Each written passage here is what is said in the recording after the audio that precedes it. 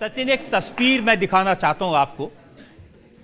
इस तस्वीर में आप हैं, कांग्रेस पार्टी में एक जमाने में आपके बड़े करीबी दोस्त थे, वो सब हैं। ये दोस्त कहते हैं कि सचिन बेवाफा निकला, हम सब बीजेपी में चले गए, ये कांग्रेस में रह गए। आरपीएन सिंह, मिलिंद देवड़ा, ज्योतिराज सिंधिया, पिछड़े सभी बारी बारी वफा तो पार्टी से है ना? तो उसको तो निभाया है। अब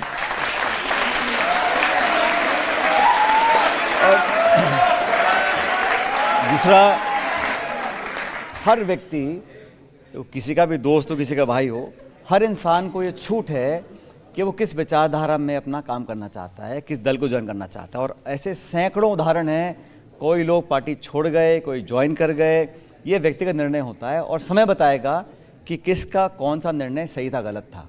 क्योंकि अंतिम जो जज है, अंतिम इसमें जो जज है, वो जनता है।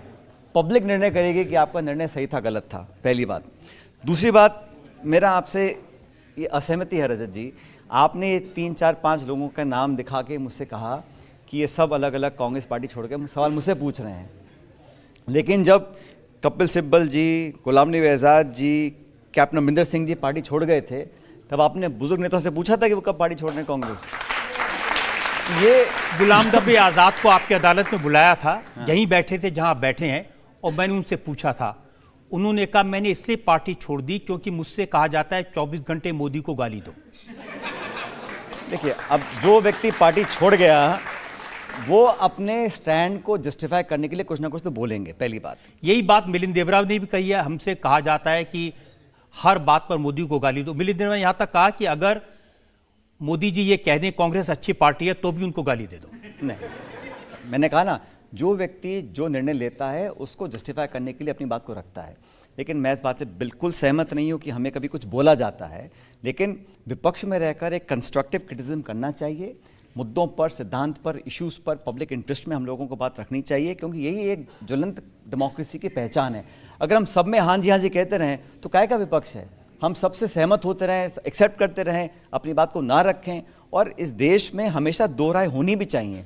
संवाद हो, डिबेट हो, निष्कर्ष निकल कर आए, तभी तो बेहतर परिणाम आएँगे। अब सब लोग एक ही बात बोलें सभी हाँ बोलते रहें तो फिर क्या विपक्ष, क्या डेमोक्रेसी है? लेकिन बात को बोलना कोई गलत नहीं है। ये बात सच है, कुछ लोग कांग्रेस पार्टी छोड़कर गए हैं, लेकिन बहुत से लोग पार्टी ज्वाइन भी कर रहे हैं। अलग अलग लोगों को अलग अलग समय पर अपनी सुविधा के अनुसार निर्णय लेने का अधिकार है।